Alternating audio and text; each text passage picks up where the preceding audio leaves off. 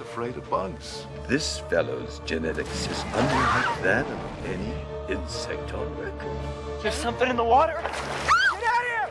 of here! Armageddon is near. Death is near. Larva living in a human corpse. Don't even think about turning out the lights. What are they, killer roaches? Mutants.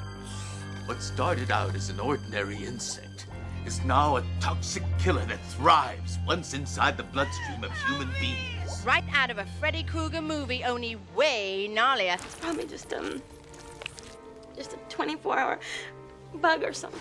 And they said pesticides wouldn't cause side effects. Help me! You called who? Call General George, Pest Eliminator! What's your plan? Let's kick some bug ass. The larva metamorphosized into mature insect. The Patella undergo metamorphosis? What do they become? They're oh, all in grave danger. I'm Scared. What's dark and damp with bugs all over? Shit. Mommy's home. Let's get ready to bumble.